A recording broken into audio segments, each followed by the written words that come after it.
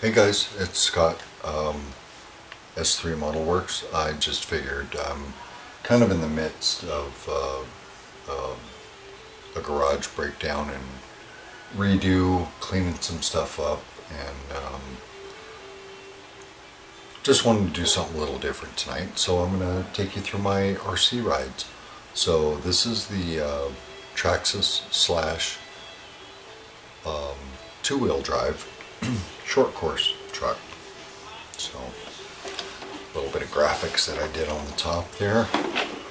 Just very simply black pen, yellow paint, a little bit of carbon fiber on the back.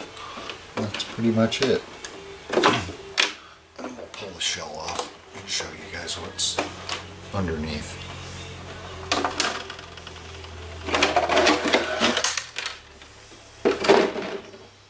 So this is pretty much a bone stock uh, slash update with some upgrades on it. I did uh, an aluminum um, skid plate on the back because it needs it. skid plate on the bottom, skid plate on the front. None of the colors are matching because that's what was available to me at the time. Um, and then on the top side, I did.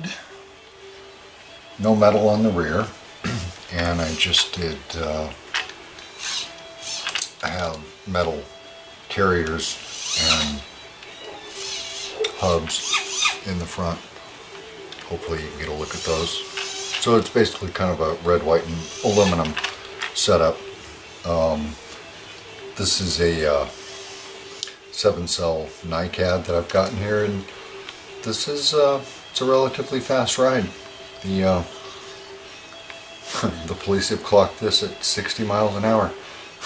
Geared right, it uh, it's about that fast. So anyway, it is what it is. The electronics are nothing particular in it. I I chose a long time ago. I chose Novak Electronics the uh, receiver is sealed in the waterproof case here. You can't see it, but there's a uh, Novak uh, synthesized receiver in there. So basically, I can run every single RC car that I have with one controller because as you see I have the 80 number on here and mine are, mine are labeled throughout the number of rides that I've had but all I basically have to do is dial in the number 80 all my presets you're fine, honey. Don't worry about it. My my presets, my endpoint adjustments, all that other stuff is just already pre-programmed in there. So not a big deal. So anyway, carrying on, just a minor interruption. Um, people still taking care of laundry. Um, Novak Electronics, the synthesized stuff. This is a, a Traxxas Servo 2075, I think. It's been a good servo.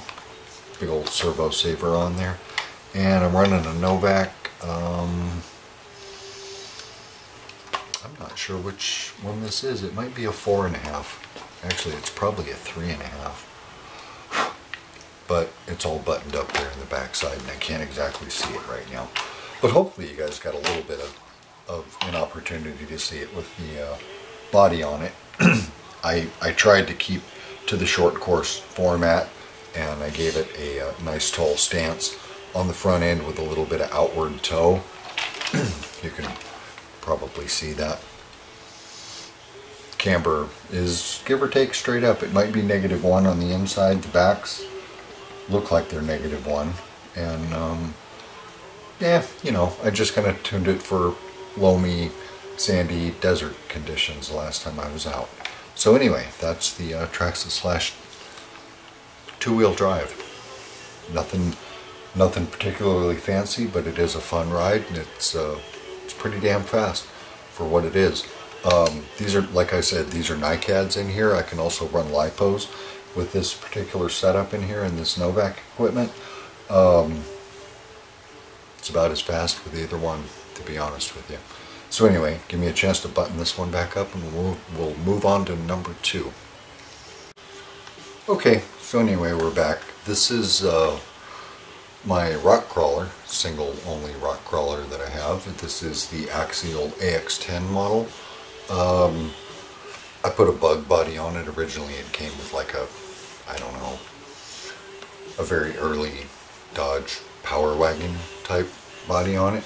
But I decided to put this one on it because I like it, because if I inadvertently flip it over, all I gotta do is give it a little gas, and guess what? It ends up right back on its wheels. It's like a ladybug. Flips itself right back over with a little blurp of the wings.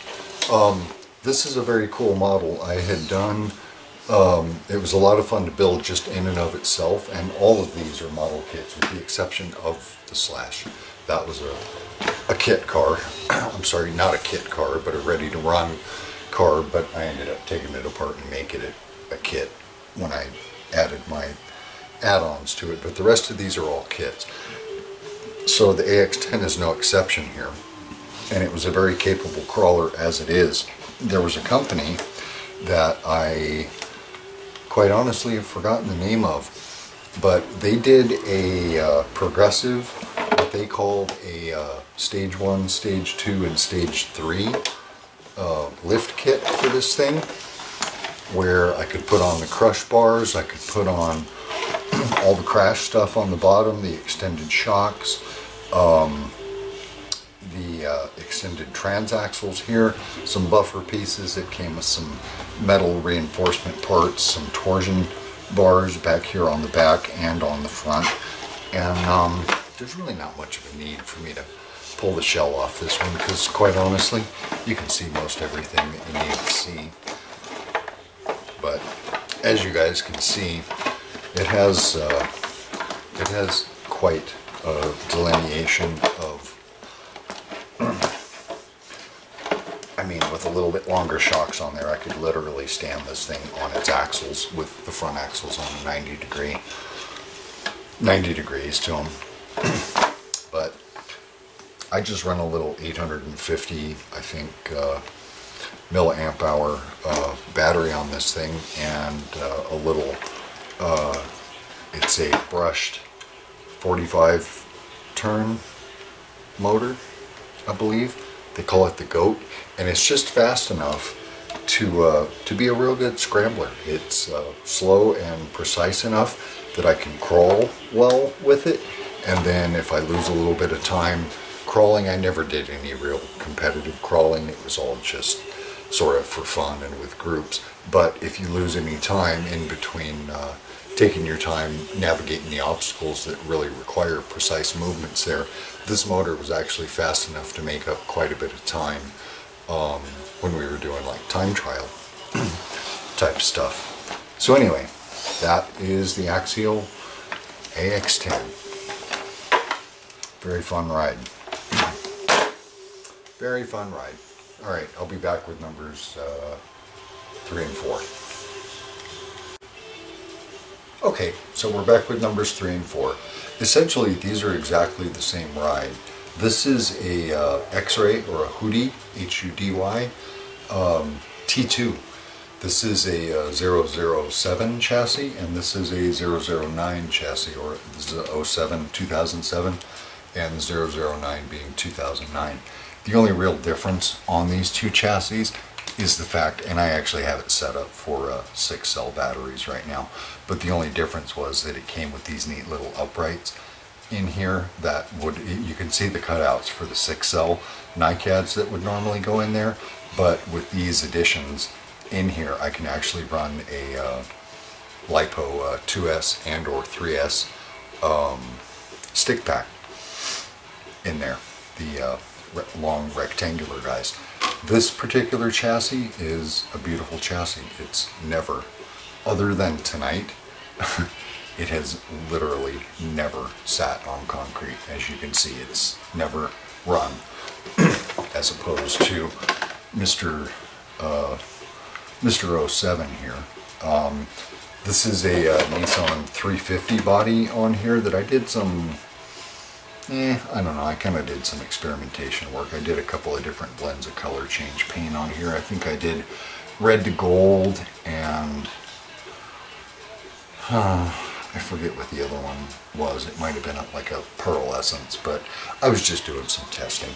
But these are basically both drift type cars, and they're set up exactly for drifting. They both run Novak 3.5 motors. If I actually put real tractionable tires on here, these are um, hard plastic uh, drift tires on here, but if I put some good foams or some good rubbers on there, on this particular chassis, these cars are extremely capable. They'll do almost 70 real miles an hour. They're very, very, very fast. And if you guys don't think or are considering these as scale models, let me see if I can zoom in a little bit on the 09 and I'll take you through a little bit of what we can see. right. This is all at least T6061 aluminum. This is carbon fiber Kevlar with fiberglass reinforced points on the entire body frame. You can see how thin that is. It's very, very, very, very, very, very, very, very thin. This is very, very lightweight. Once I get a battery pack in here with the addition of maybe two or three grams of weight, I can actually get this thing to balance on two spindles. So that should go to show you how well engineered that is. And if I'm not mistaken, this these are manufactured by a uh, gentleman, I believe he's in Pakistan, um, Dr. Uh, Hiraj Hudy, um, and his son actually run X-Ray now, but they're both mechanical engineers. They're both extremely, extremely talented. And this is a uh, center pole with uh, two differentials in here. It has a it has a, a, central drive sprocket here off the main motor. Each of these differentials are not only tunable, um, but they're also um, adjustable, meaning that I can I can put 30 in the back, 70 in the front, 70 30, 60 40. I can pick anything I want. I can tune them any single way that I want. There's torsion bars in the front, 60 61 bulkheads on top of both the drivetrains. Every, uh, even though they're black, every screw on here is stainless steel. All of the uh, plastic is at least ABS, if not uh, fiberglass reinforced plastic in a couple of different aspects, and most of that is on the front and rear ends. but as you can see, that is a uh, very, very, very cool ride. So anyway, those are my two drift rides. Yay! There we go. Alright, let me show you one other uh, 10th scale road car that I've got, and then we'll see what's left. Alright? Oh, look at that. I'm recording already. Um, so, this is my uh, third um, street car Actually, I have a fourth one over there in a kit that's not finished, but we'll take a look at it in a minute. This is a slightly older model. This is a uh, HPI Pro 4 um, named after a gentleman by the name of uh, Atsushi Hara, who I believe was a World Nationals RC champion um, for quite a number of years, probably between about 2003 and 2010. Um, very, very, very talented driver. But it's sitting in a Skyline in R34 body that again I had done a little bit of mix on here and as you see I did some pre-shading on some of the panel lines which I'm not real happy with. RC bodies are weird. They just, anything other than almost single color, they unless you're a really talented painter, they just don't do well. But this is one that I did with a little bit of pre-shading. There's some uh, metallic purple in there and you can probably see the color change chameleon that I put on there. It pretty much goes everything from uh, gold to red to violet to uh, oranges to reds. It's got a simple, simple, very, very, very, very simple wing on it. this one's a little more intensive to get the body off of because it's very, very tight. let's see if I can do it for you and I'll show you guys what's under this one.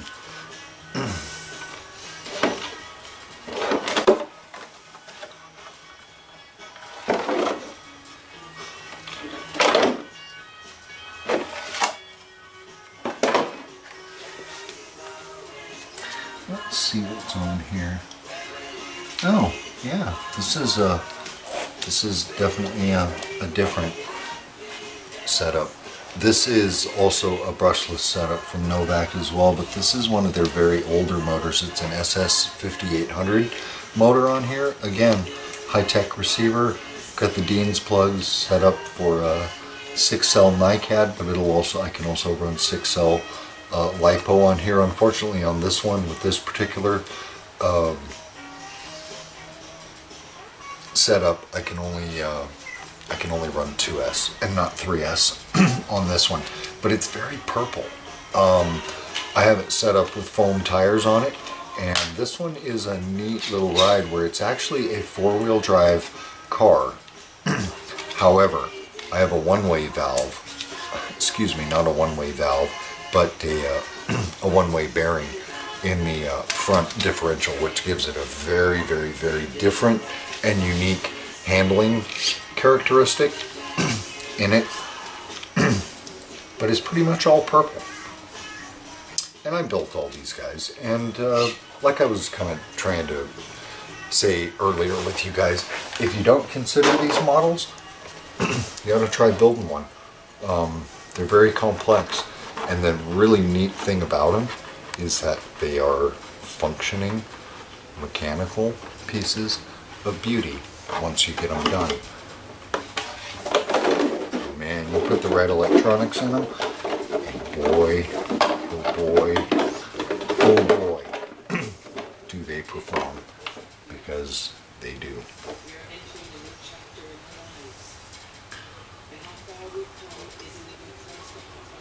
They really, really do.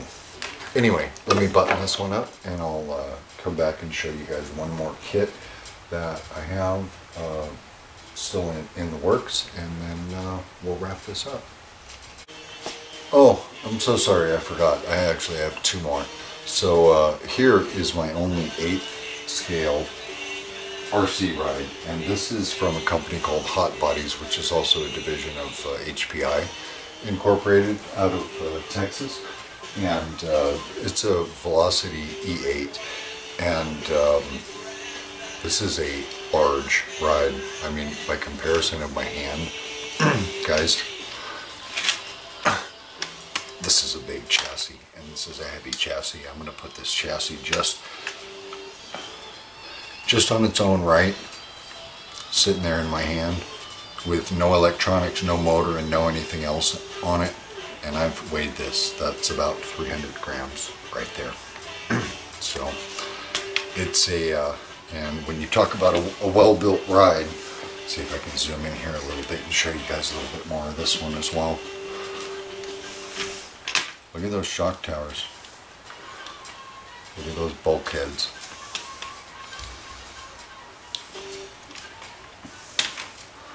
That is uh, wicked cool engineering down there some of the stuff that's on the drive line and the componentry down here is uh, very, very, very, very intense. This whole double linkage setup right here is uh, just for throttle. So,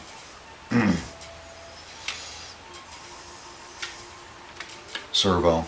I don't have any of the electronics bought because quite honestly, electronics for a 10th scale RC ride very, very, very expensive. This was about, when I bought the kit, it was about 330, 350 bucks.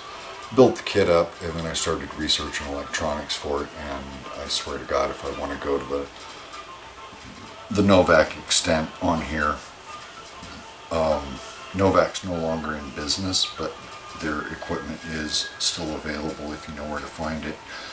Um, so I'm not exactly sure which way I'm going to go with this HPI ride, but for right now it's just sitting as a uh, mostly completed kit in the box. And we'll take a look at my last uh, true 10th scale racer, which is uh, also an HPI. It's, they call it a cup racer. Um, I'm saving that one for last because it's one of my one of my favorite import cars. It's actually the Datsun 510, which was available here in the U.S. And it's some people call it the Bluebird, some people call it a Skyline, but it's not. It is the 510. So anyway, give me a few minutes to button this one up, and I'll bring you guys back for the 510, and we'll wrap this. So anyway, here's the kit. This is the uh, HPI Cup Racer. So, as you can see, it has a very of course there's no paint on it, but a uh, 510 body on it. And I had gone through this kit today, um, just sorting some stuff out and making sure it was good to go. but you'll notice this is quite a bit smaller than any of the other kits that I bought here. Now this one, I, again, I put a three and a half motor in. Again, with the Novak Electronics, I'm running Airtronics um, to match my radio system on here. And um, this is very, very, very much the same thing. Carbon fiber, lower portion body. Hey, there's a little uh, Blue Oyster Cult playing in the background there. Cowbell. If there's one thing this song needs, it's more cowbell, and I need me some cowbell. Sorry, I've had a few drinks tonight. I'm feeling a little froggy. But anyway, this is the uh, Cup Racer, the uh, 510. As you can see, it's a it's a well-suited body for this particular blend. Hopefully, you can see that. but anyway, those are my RC rides for tonight, and let me show you one very, very, very last thing, which is one of my actual favorite pieces of equipment. And that's my 10 scale setup case. Yes, it's like a James Bond tutorial. so I actually have a perfectly flat setup board in here and I have all of my graduated gear for setting everything from camber to toe to set to ride height to rise to offset. Um, got it all. Got it all. Got it all. So little setup guide there. A whole bit anyway, those are my RC rides. I'm Scott. Enough uh, of me jammering about them. So you guys take care. I'll throw this up on my YouTube channel just for something different. And I'll bid you good night. Bye.